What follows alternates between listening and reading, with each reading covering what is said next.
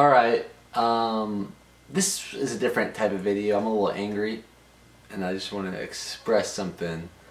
And I think I have no problem with anger. I actually don't have a problem with really many emotions. Um, I have a problem with, by problem I mean challenge with people resisting emotions. I think, you know, the other day I was expressing to someone how I was feeling insecure and he told me not to be jealous.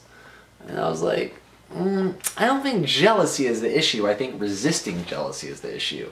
If we can embrace it and if we can embrace almost any emotion that we avoid and really dive deep into it and fully feel it, then we'll find out that we can turn some of our biggest problems into our biggest strengths.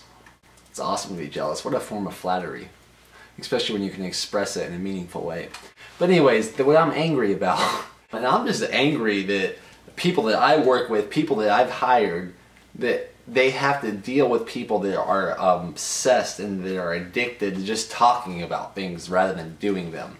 That we live in this crazy world. We can go on our phone, we can watch someone surf, we can watch someone rock climb, we can watch someone wingsuit down a mountain, and we can watch someone climb Mount Everest just with a quick click of a button. And then we get the feeling that we did it. And then we can tell others about it and then we can get this feeling, this like subtle feeling of accomplishment rather than actually doing it. And this is not for everyone. This is a stereotype for the general population. There's too many people in the world and there's too many people that reach out to us that I have to start leveraging my time to my advantage. And I want to surround myself with people that inspire me and that's people that walk the talk instead of talking the walk and thinking they did it. Um, yeah, and what it is is because now we're working with people. I don't want them to feel like I hopefully they never feel like their time is wasted. Hopefully they realize that whoever they're talking to and whatever challenges they're faced is a growth opportunity, but I don't want them to have to keep talking to people that are just there to talk. I'm done with that.